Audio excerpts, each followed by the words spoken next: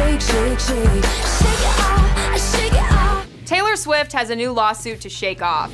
Now, it's no secret that players are gonna play and haters are gonna hate. But can you copyright lyrics about playing and hating? A California federal judge has been asked to consider just that. The songwriters behind 3LW's Playas Gon' Play say Taylor Swift's Shake It Off infringes on their lyrics. In the year 2001, the girl group sang this. Than a decade before Swift said this.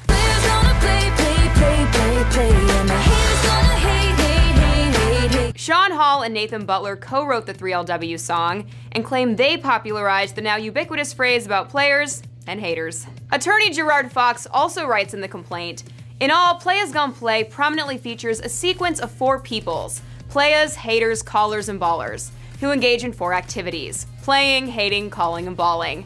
Plaintiffs were the first to put such a sequence together, using the terms players and haters. And prior to defendants' use at issue herein, the combination had not since been used in popular music.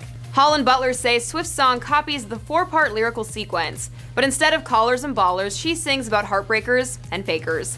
They say it's standard industry practice to clear use of lyrics with the copyright owners, even if they're not repeated verbatim. A rep for the Look What You Made Me Do singer issued a statement Tuesday in response to the lawsuit, saying, This is a ridiculous claim and nothing more than a money grab. The law is simple and clear. They do not have a case. You might recall when Swift previously defeated a similar suit over lyrics from Jesse Braham, who said she copied the hook from his song Haters Gone Hate. In that case, U.S. Magistrate Judge Gail Standish explained Braham's failure to state a claim and wrote, At present, the court is not saying that Braham can never, ever, ever get his case back in court.